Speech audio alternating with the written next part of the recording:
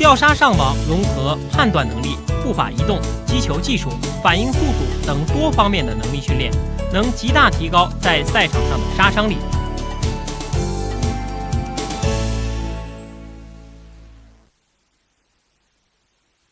我们下面再给大家介绍一种球路练习的方法，叫做吊杀上网。这种练习方法跟杀上网、吊上网稍微有一些区别。那么前面介绍的杀上网和吊上网，它们都是用后长的吊或者杀完了直接上网。那么我们这个吊杀上网呢，是用吊球第一拍的吊球调动对方。获得一个半长的机会，连续的后长进攻，杀上网，是吊杀再上网，有这么一个小的组合。我们看看运动员的演示：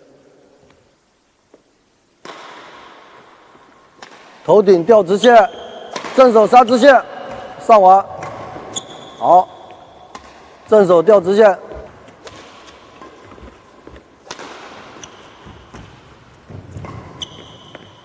头顶吊直线，获得一个直线球，正手上网，正手吊直线，头顶杀直线上网，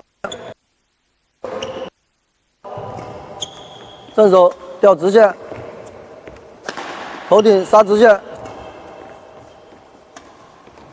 好的，前面这几个球路的演演习呢，大家可以看到是用。不管是正手还是头顶，都是用第一拍吊直线，获得一个对方的半场的斜线挑球。那么他在后场进行移动，进进而用杀直线获得抢网的机会，就是吊直线、杀直线上网，这是线路上区别。我们再看一看后面，他们有斜线上的。吊对角或者杀对角的上网的，好，头顶杀对角，正手杀对角，斜线上网，吊对角，杀对角，上网斜线，还是吊对角，杀斜线，上斜线。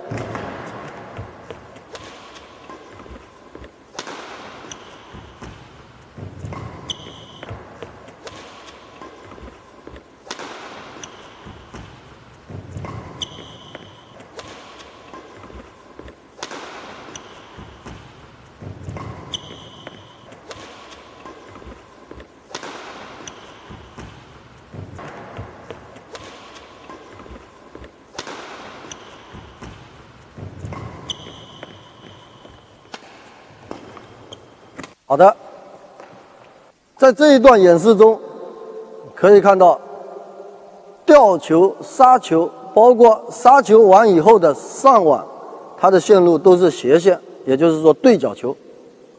这是因为对方出的球跟第一拍的控制的线路有关系。那么可能大家看的不是太清楚，我们再就这一种斜线、斜线。墙网也是斜线的球，再做一遍演示。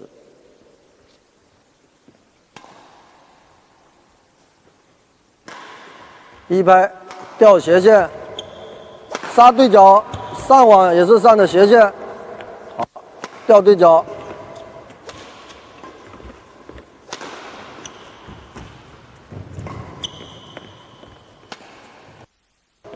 杀对角还是上斜线，好的。通过这一段的练习，我们看到前面一段是吊杀直线，后面一段是吊杀斜线，同时上网也是上的大对角的上网，这是一种球路上的变化。那么大家在练习中可以根据从易到难，根据你的能力掌握的熟练程度进行有机的组合。这里面。有一个要求，就是第一拍吊球必须是成功的，才会获得这么一个半场突击杀球的机会。